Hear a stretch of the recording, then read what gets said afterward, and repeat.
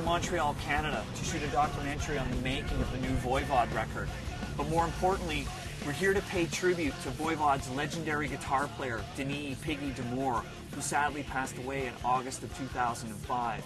Hey, Michel. Hey, how are you? I want people uh, to remember Piggy uh, as the musical genius he is, but also uh, um, as somebody that um, that is so humble that he never talked about his genius. Never, never. To him, it was a gift, and it came out naturally. He's one of the greatest guitarists from Quebec, Canada, even, even in the world. He's one of the greatest. When you talk about Piggy's guitar sound, it has to be understood that he has a tuning that is like no other player that there's ever been. When you look at any guitar book, tablature, guitar player magazine, or Mel Bay book from all the centuries, okay, the F17th chord is like this, and this one has to be played like that, and that one has to be played like that. No. The Piggy chord that goes like that is one finger. He puts it on that string and hits the whole thing and goes cha. Right, most guys would have to do that to do it. He outsmarted it.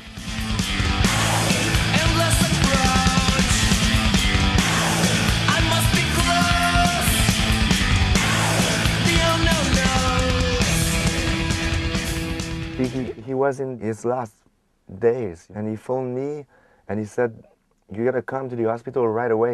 I have to I have something to tell you."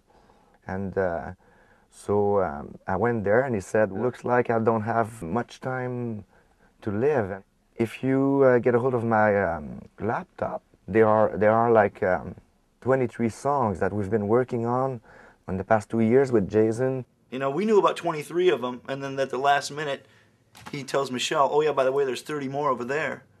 I guess he knew because everything is well recorded, and I think I think he really took his time to actually do every song correctly, with all the solos and all the you know fancy stuff around it. He warned me about the fact that the sound of the guitar could be thin uh, if it, if not reamped, and uh, Glenn knew exactly what Piggy meant.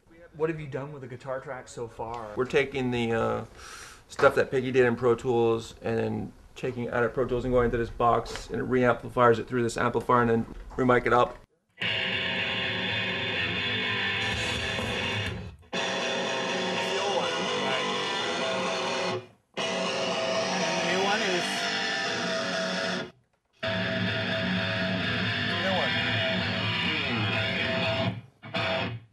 The guitar was um, put on top of uh, demo drums that were all over the place. It's really not well played at all. It's half improvised. So I have to be tight on top of guitar parts that are, that are waving a bit. It took uh, quite a few takes before um, I got used to it. Then I started to envision um Piggy's presence through the sound of uh, his guitar, and then I got used to it. But after a couple of days, I was able to put some artifacts in the room.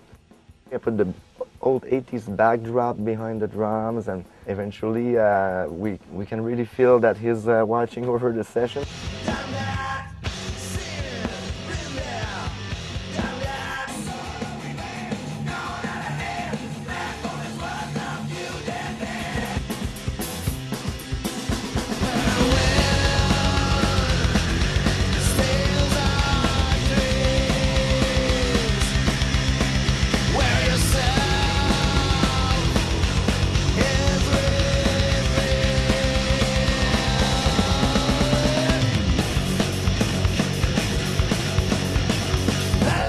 Main goal was for Piggy to be proud of, you know, like somewhere uh, is looking down, and I'm, we're hoping he'll be proud of the result. I think, I think we pretty much achieved that. It's, it's kicking. Who